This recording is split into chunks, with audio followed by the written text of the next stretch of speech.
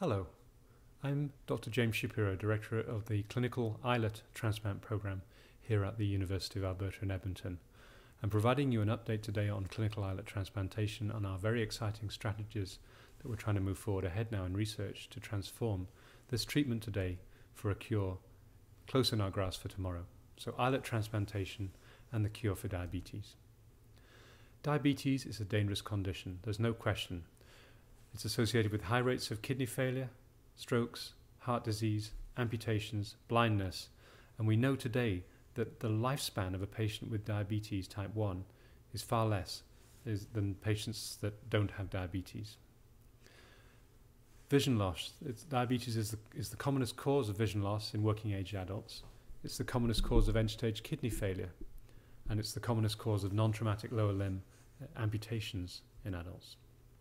The dead in bed syndrome is one of the most feared complications of diabetes, where patients die in bed from a hypoglycemic reaction. Islet transplant patient Joan, talking about some of her fears before her transplant. Some of my fears have been greater than others, and one of my greatest fears was having a low in the middle of the night with not having the symptoms, not having the sweats. I actually went to bed at night afraid that I might not wake up and I really relied on my husband to be there for me. And if he noticed me agitated or just not behaving the way I normally did, I never really had a good night's sleep after I lost the symptoms. I would find myself waking up many, many times in the night, just afraid. And I would get up and I would test and go back to bed and then wake up again, test, go back to bed. A very uncomfortable and a very scary feeling. And along with that, I was afraid to drive. I, I went in the car, I would test the minute I got behind the wheel, and I would stop every 20 minutes and test again just to make sure I was okay. So those were two fears that had a big impact on me also, and a big impact on my husband because he always worried about. And these are very real and meaningful fears for patients. As you can see here, this is a patient who has a continuous glucose monitor system in place. And this is a patient that actually died at uh, 8 o'clock in the morning from a severe hypoglycemic reaction uh, that occurred during the night, the dead in bed syndrome, documented by a continuous glucose meter, a very frightening uh, complication. So today we have to balance the risk between difficulties with type 1 diabetes and the need for lifetime anti-rejection drugs in an islet transplantation. But there's no question in my mind that today we have moved this treatment far safer than it's ever been before for patients. And I think we're very close now uh, to this balance between an islet transplant and immunosuppression because diabetes itself is a very, very dangerous condition to have. And the risks and benefits of an islet transplant and the wonderful control, sugar, sugar control that patients get after a transplant is so meaningful to the patient and really transforming in their quality of life that uh, these risks now I think can be exchanged pretty freely. Now, how much activity has occurred in the world in islet transplantation? Well, if we look back in 1999, there'd been just a handful of islet transplants done, but a, an appallingly low success rate. Less than 10% of patients ever reached the point where they were off insulin. We transformed this with the Edmonton Protocol we published this in 2000 in the in the New England Journal of Medicine, and then we expanded our experience with 118 patients uh, treated in Edmonton, Miami, and Minnesota, where the one-year insulin independence rates were transformed from a mere uh, 9% to 82% at one year, a really a transforming outcome. We went on to move this into an international multi-center trial, which I headed up through the Immune Tolerance Network, and published this finding in uh, 2006 in the New England Journal of Medicine. So if we look where we are today from when we started this program, well, we've now carried out uh, transplants in 156 patients, 320 islet, islet infusion procedures. We've got very good at this and very effective at the University of Alberta. And in fact, we've got uh, over 13 years of follow-up in some of these patients now. And we are still doing a really good job and getting better all the time. In fact, some of those very early patients, a few of them are still completely off insulin 13 years later. So if we look now across the spectrum of the last uh, 12 years or so in islet transplantation, we see this treatment has moved forward with our collaboration and working with partners across the world now. 800 patients have been treated in 30 different centres across the world, and we've had terrific uh, camaraderie and collaboration between these uh, centres. As I've mentioned to you, we've done the largest number of transplants anywhere else in the world at the present time. I thought I'd run through very briefly how we get our islets today.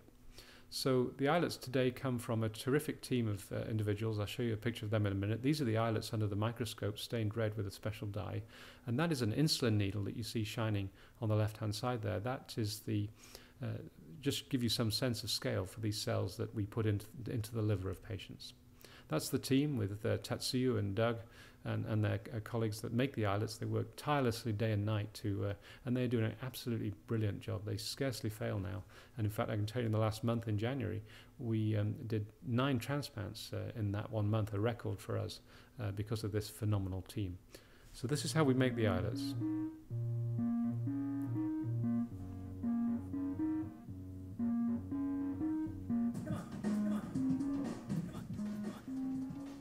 That's Dr. Tatsuya Kin. And he takes the uh, uh, pancreas, digests it, cleans it up, puts catheters into the uh, main portal vein. You can see him just cleaning up the pancreas uh, here that's been shipped from across the country.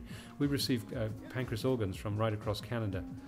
And in fact, today we, we're not really short of pancreas organs because we're actually short of patients on our list. We're looking for uh, good patients. Our lists are very short. So this phenomenal team is now cannulating the pancreas duct. And once they cannulate the pancreatic duct, they're going to inject some enzyme uh, through that system. And I'm just going to advance the video a little bit to show you that now. So once the cannula is in place, you can see the pancreas now being uh, distended and it sort of blows up a bit like a balloon. And once it's blown up uh, as, as, a balloon, then it's uh, chopped up in pieces and the, the collagenase enzyme starts to digest the pancreas. And here's Doug shaking the chamber here, the Ricordi chamber, and Tatsuya is looking under the microscope to see when the islets are freed and purified. And when he sees that at a certain point the islets are being released, well, he'll cool the system down, he'll dilute it, and at that point we can purify. And I'll just show you the purification system here. So the islets are put on this special system once we check they're alive, and then we mix them up with a, a sugar solution called Ficoll. It goes on this machine called a COBE for about five minutes. And this separates the islets out from the rest of the pancreas tissue. And we go from 60 cc's of tissue, too much to put into a patient, to just a mere teaspoonful of uh, tissue to put in a patient quite a remarkable uh, process, takes about seven or eight hours. And then we keep the islets stored in uh, culture for a period of uh, one to two days while we get our patients ready. So that's the islet isolation. And then we simply put the islets in a bag. This is me doing the patient one, 100 here. And the islets then are fused in, into the portal vein. And this is a very simple transplant. It's a, we used to call it the drive-through transplant because it's really just literally a needle placed in the side with the patient under anaesthetic, uh, under local anaesthetic, they're awake. This is the catheter in the main portal vein, and then once we know we're in the right place, we drip the cells in just like a blood transfusion. The infusion itself takes about 10 minutes once the catheter's in place. You can see the cells dripping down that tube there. We check the portal pressure at the end, and then once we're done, we plug the tract to stop complications. We used to have the occasional bleed after this procedure, but by doing this, by sealing the tract with uh, a solution of what we call Avitene paste, we can completely prevent that uh, complication and make this a very safe, in fact, the safest transplant uh, that exists for any patient at the present time, far safer than a heart, lung, liver, pancreas, or kidney transplant that's done because it really doesn't require any surgery at all. And the patient can, in fact, potentially go home the very same day after this procedure.